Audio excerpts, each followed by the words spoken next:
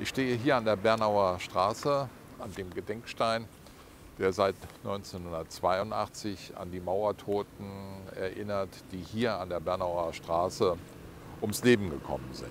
Die Republikflucht war äh, ganz gewaltig und wir hatten immer noch dieses, dieses Loch sozusagen. War immer die Möglichkeit, wenn du Ärger hast, du kannst ja noch gehen. Und viele sind ja gegangen.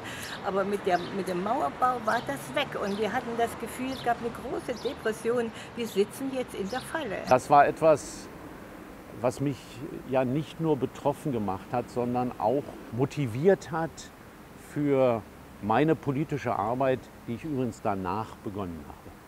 Ich war hin und weg von diesem Museum, schon äußerlich, aber auch von dem Konzept. Und das in Zusammenhang mit der angrenzenden Mauer, da ist mir daran richtig klar geworden, was für ein Gewicht das im Zentrum Berlins hat. Als mir bewusst wurde, mir gesagt wurde, was ich äh, da eigentlich tun sollte, äh, habe ich gesagt, nein, äh, das mache ich nicht. Also das, äh, ich beteilige mich nicht daran, äh, mich selbst weiter einzumauern in der DDR. Ich hatte das Gefühl, mein Freund wollte mich so ein bisschen testen, ob ich das mitmache. Ob ich mir so eine DDR-Schikane wirklich antun lassen möchte.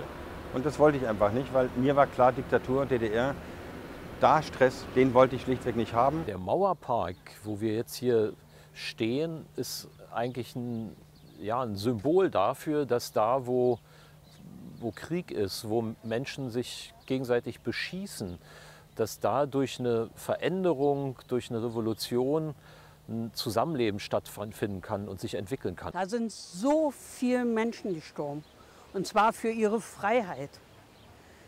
Wir können die Toten nicht erwecken, aber wir alle können dafür sorgen, dass es hier nie wieder eine Mauer gibt.